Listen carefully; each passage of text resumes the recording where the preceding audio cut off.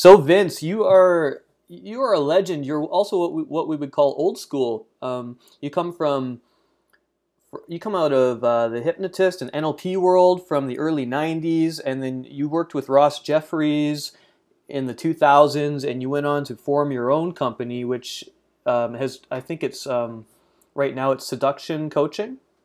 Seduction Coaching, that's correct. And yeah. and you're working with now Arash Dibazar.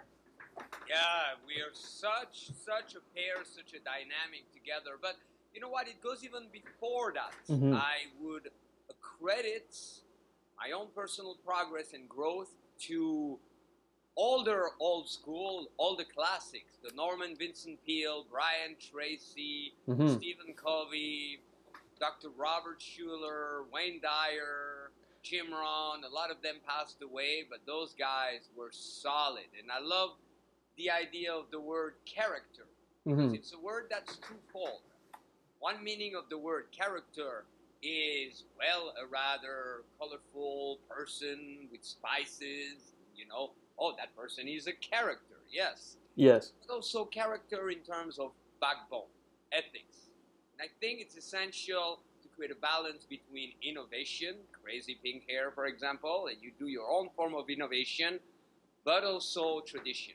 And to sort what is best in each one of them. Because we follow a lot of traditions that are completely messed up and make no sense, and we follow them like sheep, but we also miss out on priceless discoveries and understanding that people had thousands of years ago. And Absolutely. on the other hand, we innovate always new technology, and some of it is really uh, starting to cripple us. While other aspects of innovation, we got to press even further forward because there's blessings in them. So. Yeah, that's absolutely absolutely right. Like um, the PUA knowledge that came out for most of the mainstream society in the early 2000s. For for you, looking at that time when mystery method and all these sort of methods were becoming popular, you'd already been in the game of teaching and coaching men for self improvement for a long time. Did you see that whole movement as something rather absurd or or worrisome to you, or was it really good for the society? We have, to be, we have to be very honest with ourselves, and we're all going through this phenomenal journey called life with very little instructions. hmm And we all have assets and liabilities. Now, some guys only focus on their assets, and uh, they are unaware of all the growth that's available to all of us, while others only focus on their liabilities. So, with an open mind, one must not be overly critical. And my own personal thing is always look for the beneficial element and keep an eye open, you know, to to be also a protector, a real protector of loved ones and so on when stuff are being said out there in the community and it could be detrimental to a newbie. Uh, I like to step up, and uh, Raj Bazar is even more efficient at that, and uh, just put the brakes. But Yeah. there's so much positivity. I did a crazy ass video yesterday while I was having sex, and of course, I mean, you could not see me have sex. I, I mean, the, the intercourse. I can't see you have sex. I want. I'm not paying for that product. I want a discount code. not mention like uh, the movie. Uh, you know, at the end, I was I was looking at myself in the camera while I was fucking the girl, Yes. and I I mentioned American Psycho, and it was a very disturbing movie. But I remember seeing it at the time, and I found one helpful element. The guy was not one of those supplicant guys who would constantly be wondering if his lovemaking was suitable for the girl. He totally wasn't himself. He'd be checking himself in the mirror. Flexing. remember at the time, I was like, that movie is fucked up. that movie is disturbing, but here's one positive element. So, yeah, I think everybody, you know, came in, uh, pushed as much as they could, and uh, in the end, I think there's there's the survivors, those who really were in it from the heart. Me, Mhm. I I done a lot of corporate coaching too, and even last year, a major cosmetic company, global, came back to me and they they offered me money like uh, beyond anything I ever gotten into or their asking in pickup. But I did it briefly, and then I realized no, my heart is helping the guys, you know, with specifically women, and then there's more and more a spiritual aspect to it because I mean we're spiritual beings having a human experience and everything we may attempt will come short unless there is a spiritual element. So I see we're heading there. Rush and I are doing an alchemy event where we're tapping into some really powerful spiritual principles. So. Oh, this sounds amazing. I'd love to check that out. Vince, you you've always come across, at least in your marketing, I've I've seen a lot of your videos and a lot of your products. Um, you've always come across as someone with a lot of sexual energy and a real passion for not just self improvement, but specifically for seduction. It's, it seems like it's something that fascinates you. Now, a lot of guys, as they get older, some of them, myself included, I'm 37, um, and I got into pickup 10 years ago, but I've had a problem where I've become a little bit disillusioned with cold approaching and and um, the lifestyle of just chasing women. But you seem to be more passionate about it than ever. I'm wondering, um, do you have any tips, or can you explain what you do for yourself to keep yourself motivated to to be active in the dating game, even though I do know you're married, but I'm not quite sure what's going on with this. But I'm really curious about you and how you keep your energy up, your sexual energy, and your passion for seduction. First, a very, a very genuine observation. Uh, you bring up some phenomenal points and truly bright questions. You know, I know you're a writer, but this is very refreshing. So, so, so thank you for phrasing it so well. And then honesty. I think that one, you mentioned some of those companies that came in the early 2000s, and sometimes marketing will take the best of all things, uh, the better of all things, and it's easy also to just present ourselves out there as, hey, look at me, I'm getting laid, I'm doing this, I have the solution, and so on. But I, I prefer and more and more to be genuine and also share not only the success but the struggle. Mm-hmm. So what happened to me about a year ago, I encountered one of the final pitfalls. Of, co- of course, there will be more. I mean, there will be like the later part of aging, reaching 60, 70, 80, and uh, and I like to pioneer and really help guys with anything that they will encounter.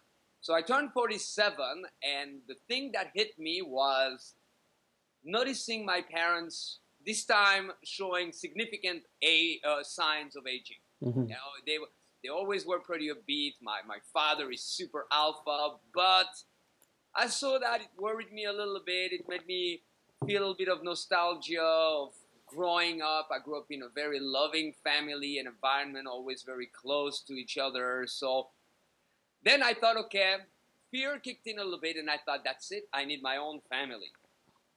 And I got married for the fifth time.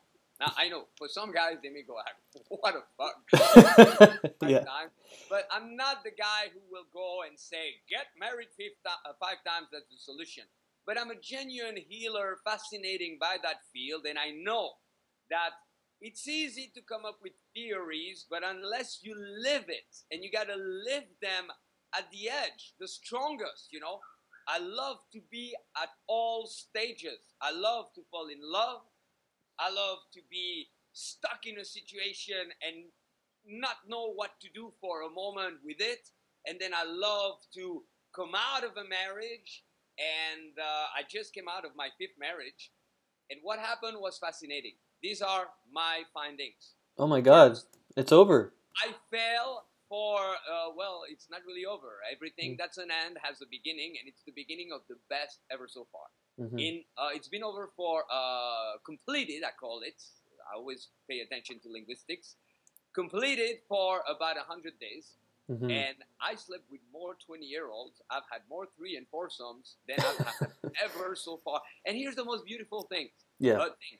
I did not go back out there or forward out there, better linguistics, with any intention other than openness. You know, I did not say, oh, fucker, I'm Vince Kelvin, watch me fuck all those 20 year olds. Yeah. I didn't go like, oh no, it's over, I need a girl right now. Mm-hmm. I just stayed completely open and the rest happened by itself. So I'm excited because I'm about to deliver the best material ever. And here are the higher learnings that came out of this experience. Because whatever happens to you in life, you got to quickly go back after you honor maybe whatever you're feeling. You know, you don't want to repress, but you also don't want to overly express and turn it into a pity party. Mm-hmm. You got to ask yourself, what did I learn? So, first thing that I learned is it doesn't matter how young, old, who you are, never buy into fear, not even 1%. if you take a bottle of water and you put a tiny drop of poison, it's deadly. So right there, a little fear creeped in with regards to aging, and I bought into it, and it kind of misled me. The second thing that I have learned is uh, at any age, you know, it's all back to the basics. Why? What model of the world did you buy into?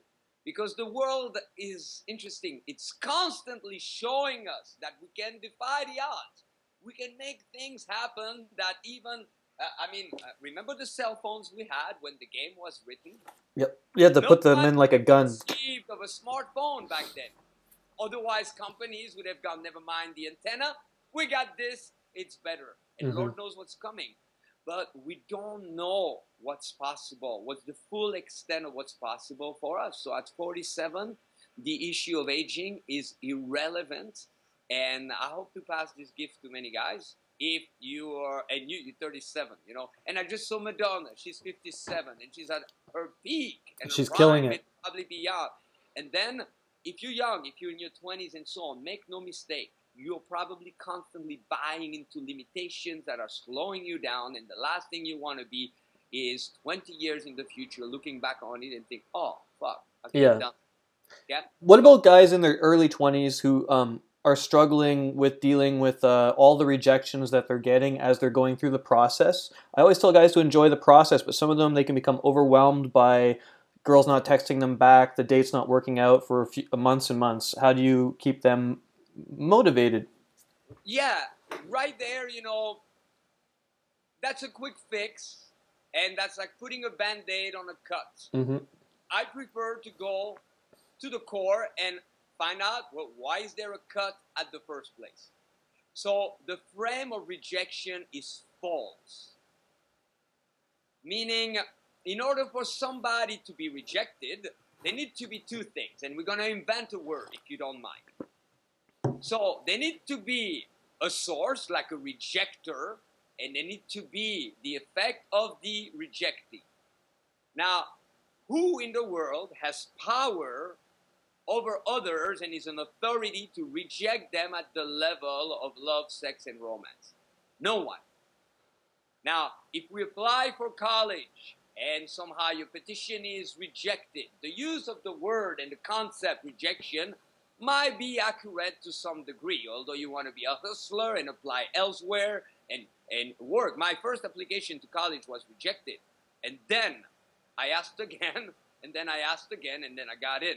Okay, you got to be a hustler everywhere. But it's a false frame, so you need to start to dissect it. And I know if ever since you grew, you were born, you heard about like rejection, and it's ingrained into your system. So Mhm. then, when you hear somebody like me say there's no such thing as rejection, either you probably cancel it right away, go, oh, well, easy for you to say that, or you find some appeal, but here's the assignment.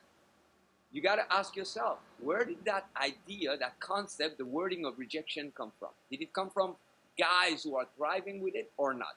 And the truth is also another frame that's deadly that you need to kill is the idea of working or not. Mm-hmm. Instead, you make it work. And here's how it really works.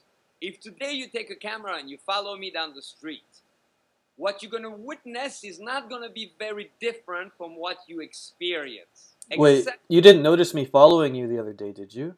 it was you. Yeah, that was my. Uh, I went to L.A. from Vancouver, and uh, I hired a, a little That- paparazzi. Gotten such a kick of following me. I go fast though. I lose bodyguards in the crowd. I move so fast. Vince, But this I, I, okay. I wrap up the point, and I don't mean to be too lengthy in my answers. I have so many questions. Uh, yeah, so we're gonna move on, but I just wrap it up. If you follow me, what you're gonna notice is not much different than what you probably notice when you walk around. And I'm not saying uh, uh, you personally, Tony. I'm saying uh, the general you, any guy uh, watching or listening Yeah. or reading. What, but what you're gonna notice is different. The different is my responses, meaning it's a blend of three categories.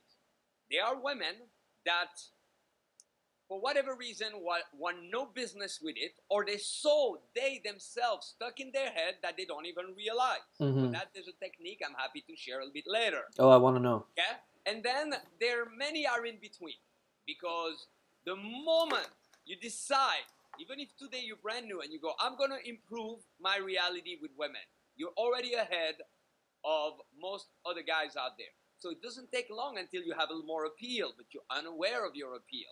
But for a woman, it's more pleasant than the guy who stupidly or shyly goes like, "Oh my God, you're so beautiful," or pretends to be a friend. You, you, you got a touch of game, you're already better. But they're in between, and then there's always those who are ready. Now it's how you process that that makes the difference. Okay, the lower category. I long for the day a guy's gonna go to a group of girls, and the girls are gonna go, eh, "We're not talking. Oh, you say that to everybody. Eh, I have Mhm. a boyfriend." And the guy's gonna come back and he's gonna go, "Wow, those girls were not that social." Yeah. But no, what do guys guys do? I got blown out of set. No, they don't get blown out of set. They blow things out of proportion. Yeah. Yeah, exactly. You, some, you brought up some really interesting points, and what you just um, brought up there about women having um, blocks. I find in my own dating experience, since I got into self development, if I'm meeting uh, beautiful younger women, a lot of them they haven't read a self help book in their life, and I can tell that they're they should that that if they open themselves up to some of even my students, they would have a great adventure and they might even fall in love. But they feel like I feel like so many women are blocked, even worse than the men. How do you deal with women like that? I think that's kind of what you were touching on. Yeah, absolutely. Look, my hair is glowing. Uh, I'm on fire. Yeah, you, you should get some uh, artificial smoke coming out, like a, a phoenix or something. Vince Phoenix Kelvin. Right. uh, it's a very good point you're bringing up. And again, uh, really, your question is brilliant. Thank you. but uh, it's simple. You must no longer be at the mercy of externals. And you got to know that we're all the same. It's so easy to get a little caught up and stuck up. And you got to monitor yourself. I walk down the street and I notice minimal signs of me starting to take things too seriously or putting on a facade. And then I just relax to bring that relief to other people. hmm Now, what's important is to know that what you experience at first is not final. And that's where you start to graduate and become more and more of a man. So, whatever a woman will do at first is not really her own true nature or higher self, and it's not really a response to you. It's her being in a fucking trance. Hmm So for that, I recommend the three gears. You say something at first, and you know that they're probably not really going to register it. The three levels usually of any human interaction. You and I, we walk down the street, or let, uh, suddenly some guy comes up to us asking for a cigarette. Yeah. Each one of us in different ways to different degrees. First, there will be a little sense of apprehension, assessing what is this about. Okay. So for some, it's really strong. Some women go, no, no, no, no, no, no. While, uh, sorry that.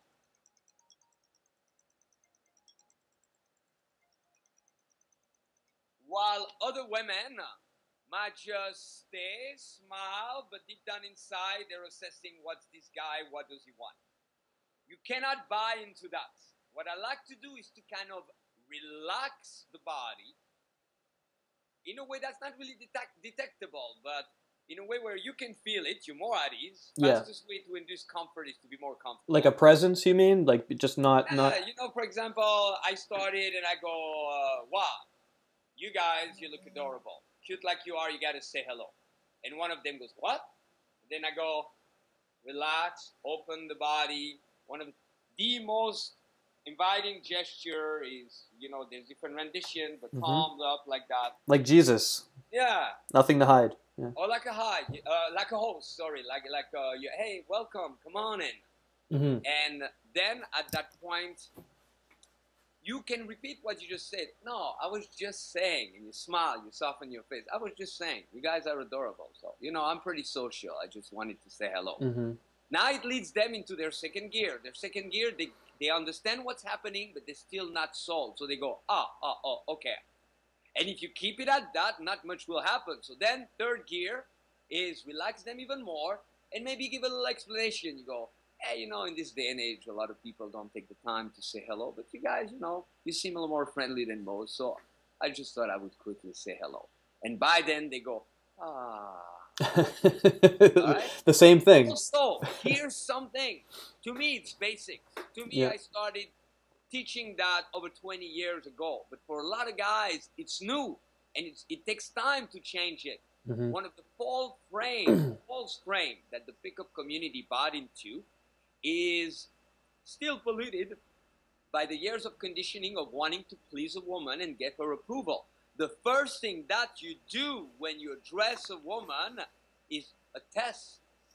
You know, you work so hard on yourself. You're going to spend the rest of your life with you. You are your own best friend, your own best resource. So you got to be vigilant. You cannot just welcome anyone in your life. You want to be good to all beings for as long as they're not extremely nasty to you.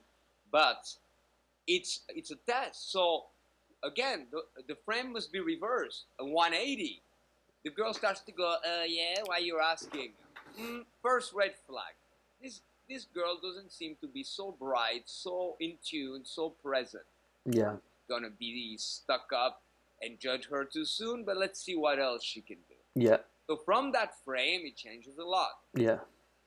Yeah, you're putting yourself um, in a position where you're screening for value on your side rather than trying to prove your value to someone who doesn't want to accept it. Absolutely. And there's a randomness that you need to also be super patient. One guy came to see me for a private lesson. After half an hour of him trying to convince me that his problem was that interactions would not go far, and he was one of those guys who go who goes, I have no problem opening but. Yeah. In my own book and standard, if you have no problem opening, then there's no buts after that hmm until you resolve all the buts that come after, you got to refine how you open. And I don't even like the word open because it's too task oriented, like you have to open the other person. Yeah. Me, it's just more about interacting, talking with them, playing with them, teasing them, expressing myself, sharing myself with the world, and find out who's receptive or not. I find in your videos. Oh, sorry to cut you off. So Keep sorry, going. yeah, I, I go fast. Sorry, my I, I will shrink my answers a little bit. But uh, the this guy, after half an hour, I said, "Stop it! I want you to understand the randomness of what we do." So we start walking down the street, and I gave him only one assignment. I said, "Whatever the fuck happens first, second, third, fourth, even if it happens ten times, your only assignment is to slow yourself down at least, ideally refrain from placing any judgments. So, first girl passes by, he says something, she gets closer to the wall, looks away, nothing. He was about to go, yeah, she was, I said, shh, Yeah. let it be. Second girl, she starts to laugh. She goes, I'm sorry, I'm in a rush. He was about to make a comment, yeah, everybody always so busy. They always. I go, shh. Stand still. You don't know. You don't know what's coming up next. Third girl. That means we're not even out there for, for five minutes yet. He pulls her to a coffee place. I'm following him, texting him what to do. And he was missing a few pieces because he turned it almost like into a date when the girl was ready to kiss. He, he could even have said, hey, let's just go grab a coffee and pause on the way to the coffee place and start to kiss her Yeah. and look at her and go, hey, sweetheart. He could have done her doggy style in the bathroom. Huh? He could have done her doggy style in the bathroom, maybe. Of uh, Yeah. Of Starbucks? Public sex. have you done um much day game public sex stuff? I know you're a kinky fucker, so I want to know, you know, some of your stories. I, I got I got to be careful what, what I say, but hmm you know, I don't even know if the word is kinky. I think I go by, I, I, bring a very spiritual element to it of uh, freedom. And one, one of my lifelong goals is, you know, all of us comes a point in life and you got to reach it fairly early on. Otherwise, it bothers you when you're older Yes. where uh, if people wait until they're 80 to, to start to realize, wait a minute, life is a passing experience. Mhm. All that seems to matter so much today, one day will be gone. It's going to be memory fading, and maybe one day there's going to be zero recollection of it, no, no fos- fossil of it, or however you call that. Um, and then you start to seek. So in my spiritual seeking, I found people who really had such freedom and openness and and I, I loved it until one word came into play S E X. Yeah. And those very same people that seemed so free started to shrink. And then I realized wait a minute. every one of us is the product of sex. You walk around, if sometimes you feel like, will I ever have sex? Every human being, every bird, every little ant that you see, you're gonna go product of sex, product of sex, product of sex. Walk in a crowded, uh, crowded place, and it's gonna be sex, sex, sex, sex, sex, sex, sex, sex, sex everywhere. So part of it is, uh, to me, it's the final frontier. The world will really have evolved when we can follow the slogan from Hustler, relax, it's only sex. Yeah. And, then- and then all of the worst element of sex, people being forceful, people people being critical, people depriving themselves, people uh, uh, settling for less than they can have, people obsessing about it, perversion and all of that will be removed because it's the repression that brings all those elements. you That know? that brings this Part question. of my journey has also been sexual abstinence. You know, I would Oh. not be a good teacher of sex if I didn't do that. So I did six months of sexual abstinence, including my very own hand. Oh wow, Yeah. that's impressive. And I did it while teaching pickup, and I did it while, while teaching pickup at AVN, the Adult Film Star um, convention in Vegas, where I know a lot of girls, and they be, oh, Vince, hey, you want to have fun like last year? Come to my room. And I'd be, not this year, my darling. I'm Wow. Something new. And what did that do for you, spiritually or um, self development Well, wise? the first thing that it did, it's almost as if women could feel a new greater power in me. I remember I was in San Francisco outside of a hotel early in the morning wearing my sunglasses with a cigarette in my hand, and I'm not preaching smoking cigarettes, on the contrary, and a rock star drink, and I was shooting the shit with a couple of homeless people up there, and we looked totally gangsters. So suddenly, it was still dark outside. A woman pushing a stroller with a baby uh, in the stroller and two little girls with her passed and gave me the sweetest smile ever. yeah. She felt safe. She could feel something, even though that should have been the least expected response from her. Huh. And then it also um, it, it did a lot. And you got to work polarity. You know, you got to be careful. One of the first starting point for anyone is to work your polarity and go contrary action. Meaning, if you're a guy and you masturbate every night and you got so hooked to it that if we were to, to, to tell you tonight you go to bed without masturbating, it would be a problem for you, you better stop that. hmm If you're a guy and you've been told that masturbation was bad and so on, just fucking jerk off right now. Yeah. At the end of this, now that would be. A uh, and then you apply that. That can be one of your own best starting point. And coaches, you walk down the street and you see two girls and you think, I already spoke to them. Counter reaction is what? Speak to them again. You pass by your place and you go, no, I don't really like that place. Go in. You Yeah. feel like you should text a girl and then you go, oh, maybe it's too early. Text her. And that will help you to connect with a higher level of intuition. Mm, so do the opposite of what your um, no, I wouldn't say instinct, but what your your story is like. What you think you shouldn't do. Instinct. Mhm. What clutters the instinct?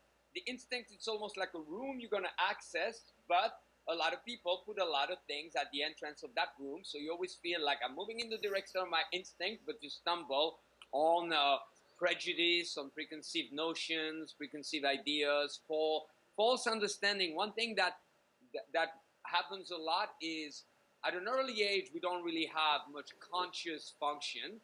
So something happens. Like I remember, there was this uh, little girl in my building. I must have been seven or eight. Her name was Claudia, and suddenly I see Claudia with her little girlfriends, and I go, Claudia, you want to be my girlfriend? And they all started to go, they ran away. Now, in my little seven, eight year old mind, I was devastated. I thought they were mocking me, and I thought they were hating me, and that's why they ran away. As an adult, of course, the experience was so unexpected for them. They had no prior reference of what to do or what to say, and out of nervousness, they did two basic things humans do when they get nervous. They started to laugh and they ran away. yeah. Funny thing is that years after that, I ran into that girl and she told me that ever since she had a crush on me. So Oh I had God. understood it completely backward. That's like Asian girls here in Vancouver. I, I have to do a little pre-talk for my clients. I say some of the Asian girls from China, if you talk to them and you go direct, they might put their hand up to their face and giggle and run as fast as they can, and it's not your fault. It's a cultural thing, which is something I want to talk to you because you've traveled all over the world. I've seen videos of you in Europe and everywhere. Um, I'm not sure how many countries you've taught in, but um, uh, you're talking about uh, the, looking at the culture of North America. It's a strange place, isn't it? Because it's like a puritan coming from puritanical roots, where sex, um, like you said, sex was taboo and suppressed, but yet we are living in a post-feminist society where sex is also um, seen as very positive at the same time. But where would you say is the most fun place for a guy like you to be? Because um, you seem really attracted to Hollywood. But what countries do you like? And uh, you know, yeah, I love Hollywood, and uh, I also believe wherever I would be, I would start to grow and blossom. mm-hmm. Uh, not use any excuses or relocate. Here's what happened to me that was interesting when I first started to travel, I love groups like lairs or whatever they call themselves, meetups, and oftentimes yeah. they would invite me to go talk. And the first thing the leader would do would be pull me aside and go, "Hey, Vince, we love your stuff, but you gotta understand here it's a little bit different. You know, yeah. uh, uh, it's not Hollywood."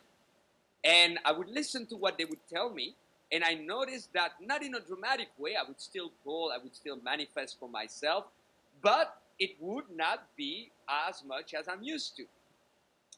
And at some point, I was with a buddy that travels the world with rock bands, and he told me, you know what, we arrive wherever the fuck we arrive, we're rock stars, yeah. and uh, we just fucking arrive, and women violate all the rules. Married women, women who would never do that with other people, they do it with us. And I go, hmm, interesting. So I would hear it, I'd be, yeah, yeah, yeah, sure. Oh, okay, I understand. One of the, the, the ones that funny, it's on a video where I'm in Dublin. And then you hear the talk, and one guy raises his hand, very, very genuinely. I'm not criticizing, okay? Uh, I've been there myself. In my hometown, I used to believe that it was very hard to meet people. I used to believe it was hard to meet people in LA. I bought into the shit as well mm. until I would awaken. And he tells me, like, girls are more repressed over there. And my own experience of Dublin was suddenly I have an 18 year old that rushes me and fucking kisses me. I've had a world record of girls like in their late teens, 18, 19. Then I went to this little art place with students, and this is filmed. And I kiss one of the girls working there. I kiss another one of the girls working there. Then I kiss all four in front of each other. Uh, and it was non-stop wild stuff like that. You've broken your own prejudices. Experience what you expect. And with people, I remember I had phenomenal mentors through my life. And uh, uh, in working with Tony Robbins, I was exposed to the work of Schwarzkopf, General Schwarzkopf. Mm-hmm. And he did a spiel for us on leadership. And his thing was to really lead is to see more potential in others than they themselves would see. And I think it's a core element of teaching, of healing, to, to be to hold the space. Now, everything is a duality. So on one hand, you hold the space, and if you see an Asian girl going hee hee hee, you go, this is not who she really is. Mm-hmm. Who she really is is a woman with infinite potential. Now she she's free to make her own choices, but let's make sure it's her own choice. She's not responding like a robot. And at the same time, you adapt the touch, and you. Uh, the first thing I do, I would humble myself a little bit, and I would powerfully tease them as if I was even more shy. I would be like, oh, mm. no, please don't look. yeah. And whatever they do, you double it. Okay? Yeah. If the girl goes, let's just be friends, you go, holy friends, you're going a little too fast for me. Yeah. Let's first get acquainted more properly. And if the girl goes, no, I don't shake hands, you go, whoa, whoa, whoa. Uh, thank God because you know, you're a little forward, your body. Would you, would you mind taking a step back? I'm not so used to human beings being that close to me. And then you go, I'm just fucking with you. You're adorable. Yeah, a little bit of push pull. That's um, something that seems to be forgotten in a lot of the new. Well, I got better than push pull. Mm-hmm. Dual direction. Dual direction. Push pull was a lot of work, and it took really a passion for hypnosis and that kind of stuff to master it. Mm-hmm. Most guys, their their pushing was a little too strong, and their pulling was a little too strong. You know, because it could be good pull push would be you talking with a girl at the bar, and then you just continue to talk, but you genuinely take your eyes elsewhere, and then you go, but you know what? But a lot of guys, they'd be talking with a girl at the bar, and then they would turn around and give it 15 seconds, and then go back to her, and she'd be talking to the guy next to her. Yeah? or they would they would they would do like up down up down, no real motion because they would arouse the girl and then go back to back to fluff talk. Mm-hmm. It's very advanced. I have an entire course called sexualization on it, and I constantly dig even deeper. There's Mhm. not one month in LA where we not, don't have a new free class on what I call sexualization. Dual direction is when your words go forward, you go back a little bit with your body. Mhm. When you go forward with your body, you pull back with your words. So notice it's moving in two directions. So this way, it gives the illusion of an interruption when in fact it's constant escalation. It's Mm. extremely potent. And at the end, you combine both. At the end, you go, come here, you boom. Okay? Yeah. So, uh, basic example would be a lot of guys, if they state their interest or they go direct with a girl, they're gonna go direct with the words and straight into the face. And gonna be, wow, you're so sexy. That's a lot of energy going in. Me, I'd be like, hold it. You're way too sexy. Yeah? Mm. And I pull my body away.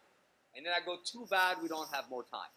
And when I say too bad we don't have more time, which is a takeaway, I touch them or grab the hand. Mm-hmm. Because if we did, and then I tell them what I would do if we did. That, that is, I've seen I've seen a lot of your older videos, man. Uh, one of my one of my friends um, told me to ask you to make more infield videos. I think it takes a lot of bravery for you to put yourself out there like that, to make, put videos of yourself living this lifestyle. And you know, in my own life, it's been a little bit of a challenge being a dating coach, um, and I'm not as visible as you are. So that's really interesting. Um, you described yourself as a wounded healer, and I think um, the pickup artist label is it's good for marketing and it sounds pretty cool. But I really think what you do is is you help people improve themselves and you help people heal and rehabilitate and get laid and have sex. But how would you um, say that you were wounded before? Were you wounded before you became a healer, or are you still wounded? I think, in all honesty, every morning we wake up, and again, every morning we're going to be facing opportunities and crises. Mm-hmm. And if we don't have a serious practice and also a source to check in, you know, like uh, you're coaching a lot of guys, so you're that source. They come back to you to uh, to check in. And sometimes in coaching, that's when we learn the most. Also, my best teachers are the worst students I've ever had because they Mhm. make it so obvious of what not to do. yeah. Never do that. I help them there's that Yeah. place of equal like it's a beautiful dynamic um, and you got to watch out i mean at any given time and life is never going to be a straight line and the media sold us on that idea of uh, well, you know that uh, we can be superior. What we should buy into is hey life is navigation. You better have a seriously efficient system that you refine all the time. And also we always set a standard in terms of oh look at those good people and bad people. And it's fading but we need that to fade away even more rapidly because everybody's carrying their own cross. There's not one person today in america in canada in europe any continent asia africa you name it that is not carrying a burden whether Mhm. it's imaginary or serious and even if the, your whole life comes together, then maybe the world is going to go crazy, or maybe the person that's the closest to you disappears. So Mhm. I've been a wounded healer. You know, uh, I have my first wife passed away when I was super, super young, and I didn't know how to process it. So my mind was searching like crazy. It was the weirdest thing ever. Uh, then I reached the peak when we released my first program, Seduction in Action. And then we put live links when I was nominated official only speed seduction coach on the planet Mhm. for private coaching, but we didn't think about what was going to happen. So suddenly, within days, almost 80 people signed up for the coaching, 80 hours a week of coaching. Wow. And that was exploding, and suddenly, boom, lower back surgery. And uh, Mhm. I then was given hope that it would be better right after that. I wake up from the surgery and it's not better, it's worse. I end up on a wheelchair and then I end up at UCLA Pain Management Center. And one day I wake up, like not wake up, open my eyes in the morning, but start to realize wait a minute, I'm inflated, even worse than Elvis. And I'm on 16 different meds that the doctors gave me. I'm totally hooked to those meds, and they never Oh, told no. me. They don't say, "Watch out, those could be addictive."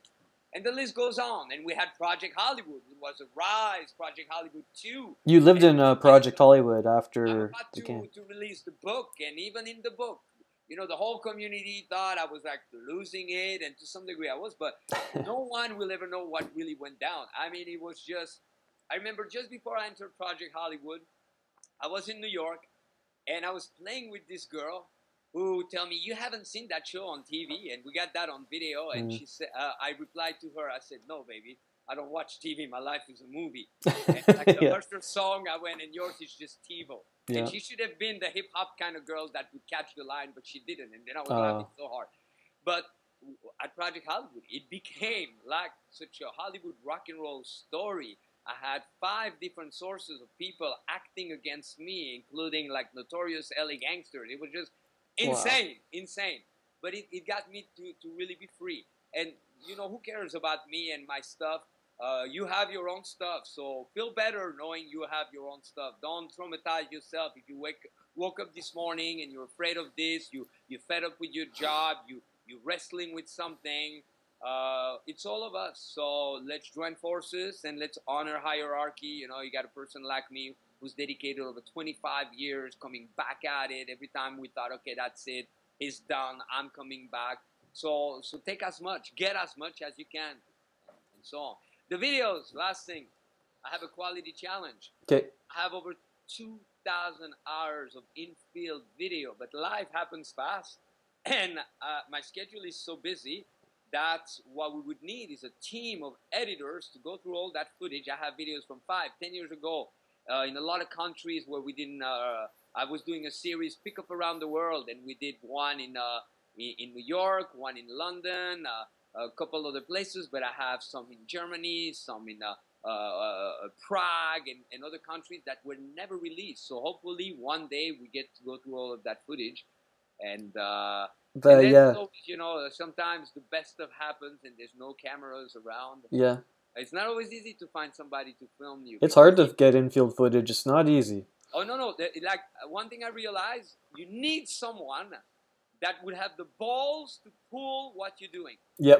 It's so funny. I was filming with a guy from the Discovery Channel. yeah. He gets there, and suddenly we're in a car. He's filming me, and then he gets out of the window without holding himself. We're driving fast on the freeway, and he wants to film the arrival in New York. And I go, "Fuck, that's a badass. Yeah. This guy's gonna get my infield footage." Yeah. And the cops pull us over because he's with his big ass camera, and he continues to film. And the cops go, "Put the camera down." He goes, "Yes," and he continues to film. And I go, "Yes, I found the guy." Yeah, that's the guy. Suddenly, I'm with two women, and they go like, uh, "We're mothers," almost like, "Oh, uh, they're very sexy. They're super young." They go, "Yeah, but we're mothers," and I go, "High five, perfect, exactly what I'm looking for." Two mothers with tattoos. That was on my Yeah. list tonight. And they start to laugh, and I go, "When you're laughing like that," and I grab and I kiss them, and the camera goes down. Wow. What did, handle falling off a car, dealing with the cops, but he could not handle witnessing that because in his own reality, if it happened, he would be like, "Oh shit, what's happening?"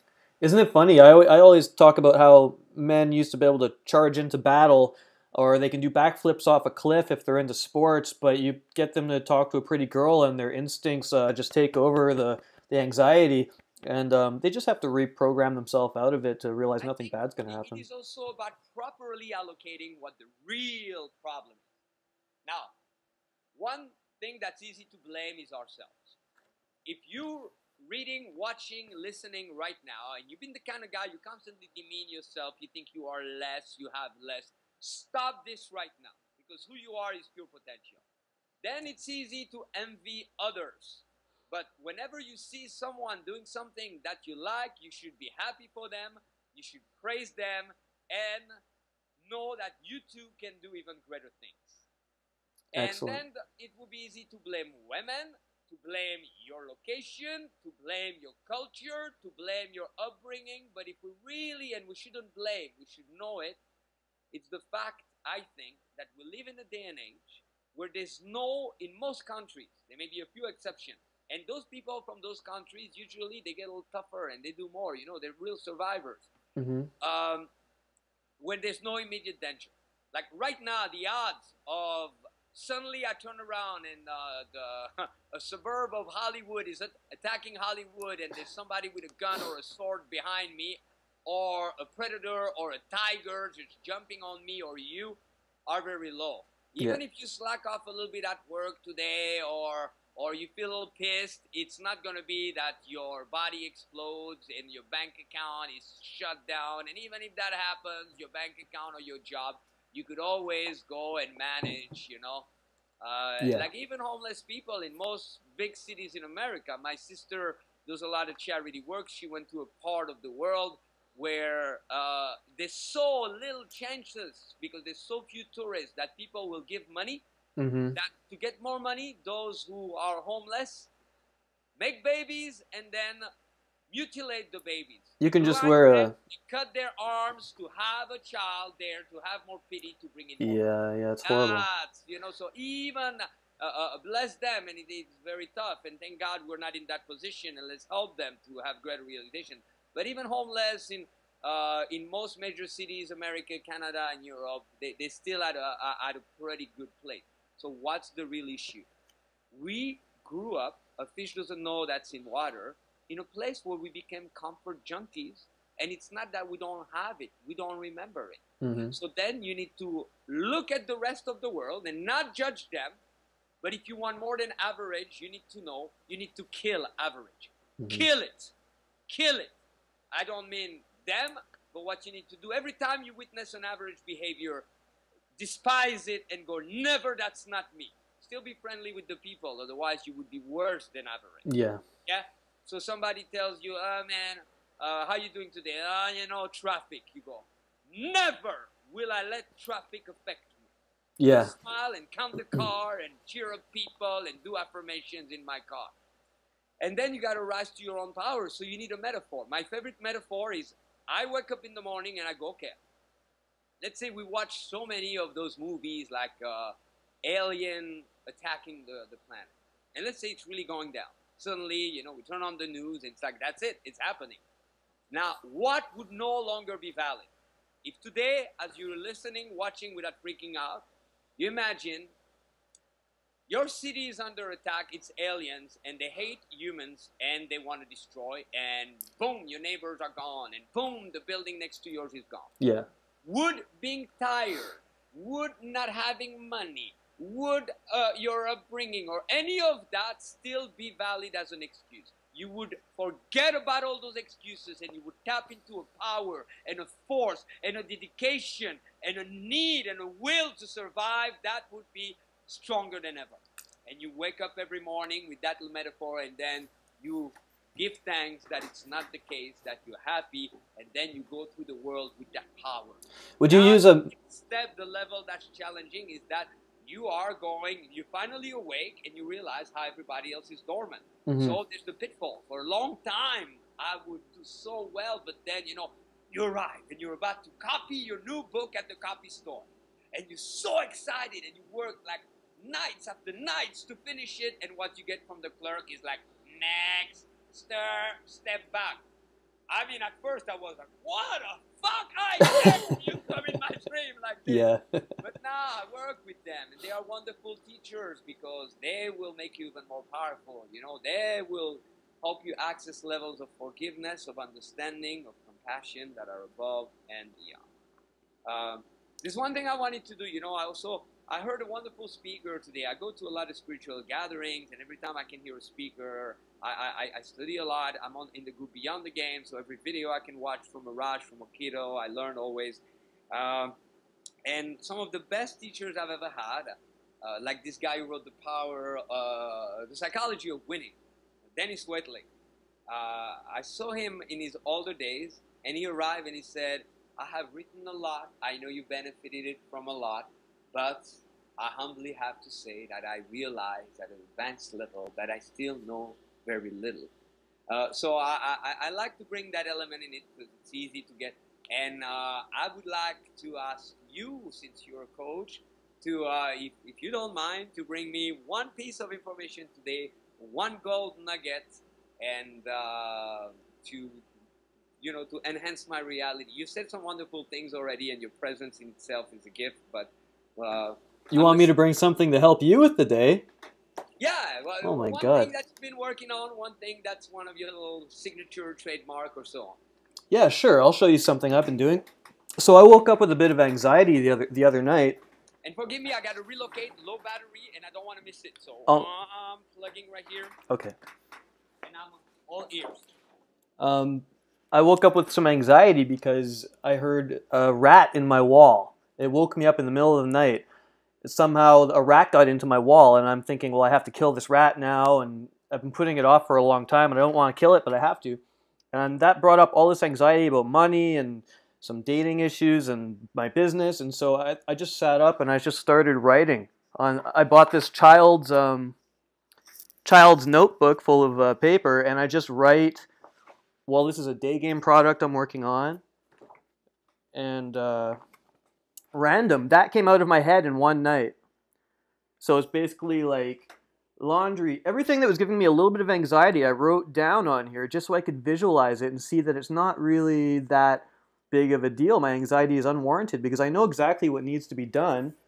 And because it's all here and visualized now, um, it just made me happy to get it all out. And I wrote four pages of this this stuff. So I'm sure you do something like this, but just writing your anxieties and ideas down on big pieces of paper, I find it it's a lot more fun and valuable to do it kinesthetically than on a computer. Beautiful. Yeah. Beautiful. Thanks for sharing this with me. No I problem. No problem. it. I'm gonna do it today. Because I can't paint, so for me to write it all down, it's almost like painting. I get a big fat pen, and it's it makes it like a fun activity, kind of like uh something I would do if I was a child painting a picture, but it's with my ideas. I love also, uh, you know, women are so much more okay with saying it like it is. Not every woman, we don't want to generalize, but uh, there was a little study at one point, uh, a, a silly one, and I don't know who, uh, who conducted that or the validity of it, but it brought up a good point. Uh, women in a bathroom, in, uh, in the cabin, no toilet paper. Immediately, dong, dong, dong, hey, do you have toilet paper? Asking the girl next door. Yeah. Guys, starting to look around. Oh fuck, what do I do now? And Yeah. very few would just think, okay, let me ask the person next door, or they would make such a big deal of it. So don't keep it on the inside. At least Yeah. put it on paper and uh, express it. So it amazes me how like when you start writing down your ideas because you're a very creative person i can tell that it amazes me that there is no end to creative ideas and some people when i find they get stumped in life on what to do next or they feel like they have no passions i, th- I think that's crazy and i say just grab a big piece of colored paper and just start writing everything that comes out of your head and you'll see how creative you are i think you're uh, really a gifted gifted teacher and i'm glad for this time vince um, before i leave is there anything you want to promote or tell the world about I want to promote you, gentlemen. You have the power. And uh, uh, here's what I want to promote. I want to promote first um, fair trade for you. We live in the day and age of quick fix. Everything has a plus and a minus. When I first started, I heard of Jim Rohn. I had to place a phone call, pull out my credit card, travel to wherever he was speaking, and if I wanted an audio program, the only way I could get it was to order it, wait until it would arrive in the mail, and play it. hmm Now I can Google Jim Rohn, YouTube, and watch it for free. yeah That's amazing, but that's also really, really, really fucked up. Why? Because at some point I wanted to spot talent out there. And anytime that I had a guy, I was somebody would tell me, "Oh, this guy is really good with girls." I'd be, "Hey, maybe that that's the next guy that can be one of my trainers."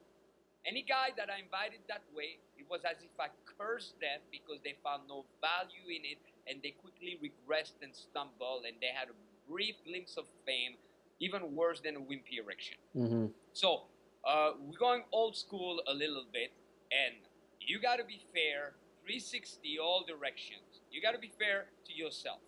You're not gonna get really good with women by just reading stuff on the internet or reading a book. You got to show up, and whether it's in Canada that they will take a boot camp with you, or you come to America, you have to have the full force experience. Now I know what's gonna come up. First thing is gonna be time and money. But those two you gotta master them, otherwise anything else you're gonna do in life is gonna get affected by that. Right. So you gotta take that leap of faith. And if you think you cannot get the money and make the time, you're lying to yourself and you're signing a blank check. First real education I had, I called this guy Marshall Sylver. His seminar was three thousand dollars. All I had was a thousand dollars. And I asked him for a discount. He said, I don't have time for that. Mm. Life won't give you any fucking discounts. Yeah? hmm You know, a person on a deathbed cannot go, oh, uh, can I stay a little bit longer? Yeah. Make two thousand dollars. There Manifest it. hurrica- uh, hurricanes and so on. So the universe is not going to be like, oh, please. You know? uh, I mean, you, you can reach that. It, has that element, Yeah. but it's not the only element. So I had to hustle, and he told me, here's your seminar. You're going to come up with the money, or Mhm. you're not going to show up, Yeah. or you're not going to come to the event. I wanted it so bad, I came up with the money, and what a lesson that was. Okay? And I tapped into my power, and I borrowed a little bit here, and, and, and I, I grabbed a little job, and, and I changed something, and I, I said no more beverages when I go out, and, and then I stayed two, three days without eating, and, and I made it. And that to me was just like, wow. I could even have not showed up. So, gentlemen, don't buy into those bullshit excuses, and then also you have to realize that you, you got to honor. Uh, a guy the other day told me, Can I have a free session with you on the internet? I go, Go to the doctor today, go to the store and ask if you ha- can have some free food. Yep. Why is this important? It's not important for me. I'm so overly busy that every day I decline opportunities to help people because I cannot take them on board. Yeah. Okay? But it's important for you because otherwise you are nurturing the cause of your neediness with women. You're a powerful man who can provide for yourself, and if you want something, you got to go and you got to get it. And then don't go in for the quick fix. It's always going to elude you. Go for the long run. Universities, they're set four to eight years for a reason. Mhm. Okay, uh, you can you can reach me. Uh, go to globalslr.com. That's our website with the Rashdi Bazaar. Uh, we have so much coming up. And November 18th, I'm gonna be on CNN with Lisa Ling for the seduction game, and it's a beautiful perspective on the pickup community. It's a very upbeat show, and she's a beautiful woman who uh, is a very bright feminist. There's many types of feminists, but she's bright, yeah. and uh, she recognized the value in what we offer. So her Wow. voice is a powerful voice. That's amazing. means, Gentlemen, there will be less hiding. And then I'm also a big advocate in this day and age. There's less and less racism. They, of course, there's still always less and less prejudice. The world is becoming more free. Finally, the gay community has been allowed to marry, and that's a beautiful thing, you know. Yeah. But who's the the black sheep getting the shit? PUAs. So what Yeah. do guys do? They pull away like pussies. There's Mhm. those who constantly mislead in the definition of pickup artist. Uh, pickup artist is anything that you want. For some, it's a very limited thing. For me, I always think of it that way. A great mentor was Osho, the spiritual teacher, and he once said with regards to spirituality, if it doesn't make you smile, if it doesn't make everything a little bit easier in your life, if it doesn't make people happier around you, you probably have a false sense of spirituality. hmm So, if it doesn't make you really happy and fulfilled with women, if it doesn't flow and feel natural, you probably have a false sense of what being a pickup artist is. I'm unbound as a pickup artist. hmm And then, think about it. What are you doing for future generations whenever you back out of it?